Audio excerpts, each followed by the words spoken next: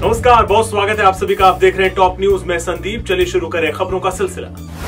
क्या गुजरात चुनाव में मोदी को हराने के लिए पाकिस्तान में साजिश रची गई? इस सवाल के जवाब में जम्मू कश्मीर के पूर्व मुख्यमंत्री फारूक अब्दुल्ला ने प्रधानमंत्री मोदी पर तंज कसते हुए कहा है कि मोदी खुद खाना खाने के लिए पाकिस्तान गए थे। तब क्या किसी ने उनके खिलाफ साजिश की थी?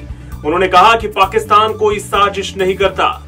कांग्रेस की हार पर अब्दुल्ला ने मणिशंकर अय्यर का नाम लिए बगैर कहा कि अगर कुछ लोग गलत बातें नहीं करते तो कांग्रेस गुजरात चुनाव जीत सकती थी। पार्टी ने वहाँ अच्छा प्रदर्शन किया है। गुजरात विधानसभा चुनाव में बीजेपी को जीत तो मिल गई, लेकिन इस जीत के बाद भी पार्टी की राज्यसभा की सीटें कम हो जाएँगी। अगले साल मार्च में संसद के उच्च सदन में 50 नए सदस्य देश के 14 राज्यों से चुने जाएँगे। इनमें से चार सीटें राज्यसभा की गुजरात के कोटे से हैं। निन्यानवे सीटों पर विधानसभा में जीत दर्ज करने के बाद अब चार में से सिर्फ़ दो ही सीटों पर बीजेपी का कब्जा रह जाएगा। बाकी दो सीटें कांग्रेस के खाते में जाएँगी। राज्यसभा की चार सीटों पर गुजरात के चारों प्रतिनिधि अगले साल यानी 2018 में रिटायर होने जा रहे हैं। इनमें वित्त मंत्री अरुण जेटली, पुरुषोत्तम रूपाला, मनसुख मांडवड़िया और शंकर भाई वेगाड़ शामिल हैं। अगर आप अपने मोबाइल नंबर का सर्विस प्रोवाइडर बदलना चाहते हैं तो हो सकता है कि अब इसके लिए आपको सिर्फ़ चार रुपए खर्च करने पड़े। Telecom regulatory authority of India, यानी ट्राई ने मोबाइल नंबर पोर्टेबिलिटी फ़ी को मौजूदा उन्नीस रुपए से घटाकर ज़्यादा से ज़्यादा चार रुपए रखने का प्रस्ताव दिया है। उसने संबंधित पक्षों से 29 दिसंबर तक इस प्रस्ताव पर अपनी राय देने को कहा है। ट्राई की दलील है कि मोबाइल नंबर पोर्टेबिलिटी प्रोवाइडर्स की ऑपरेशनल कॉस्ट पिछले दो सालों में घटी है, जबकि पोर्टिंग के अनुरोधों की संख्या बढ़ी है। और इसे देखते हुए प्रति ट्रांजैक्शन ज़्यादा कॉस्ट रखने का कोई मतलब नहीं।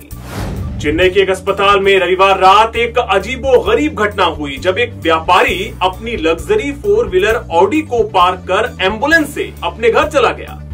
पुलिस ने बताया कि रविवार रात करीब डेढ़ बजे मिथिल नाम का एक शख्स अपने दोस्त को लेकर चेन्नई के नगुम बक्कम अस्पताल आया था, जिसे मामूली चोट आई थी। पुलिस के मुताबिक अपने दोस्त को भर्ती कराने के बाद वो व्यक्ति वापस पार्किंग एरिया में जब लौटा तो अपनी गाड़ी न ले जाकर वहाँ पर खड़ी एंबुलेंस को ड्राइव करके अपने घर चला गया। एंबुलेंस का ड्राइवर गाड़ी में ही चाबी भूल गया था। कॉमेडियन से एक्टर बने कपिल शर्मा की दूसरी फ़िल्म फिरंगी बॉक्स ऑफ़िस पर बुरी तरह फ्लॉप हो गई। फ़िल्म की असफलता से कपिल निराश हैं और उनकी नाराज़गी फ़िल्म के समीक्षकों से है।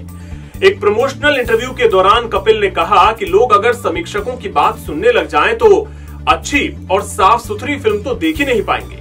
कपिल ने कहा कि उन्हें दुख होता है जब अंग्रेज़ी स्कूलों में पढ़े लिखे पाँच से दस फ़िल्म समीक्षक अपनी राय दर्शकों पर थोपते हैं। उन्हें क्या पता हिंदी मीडियम में पढ़े छोटे शहरों के लोगों को क्या पसंद है?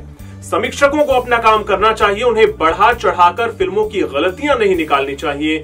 बिना मतलब फ़िल्म के बारे में कुछ भी नहीं लिखना चाहिए। तो टॉप न्यूज़ में फ़िलहाल इतना ही। हमें इजाज़त दीजिए, लेकिन आप जुड़े रहिए नवभारत टाइम्स ऑनलाइन के साथ।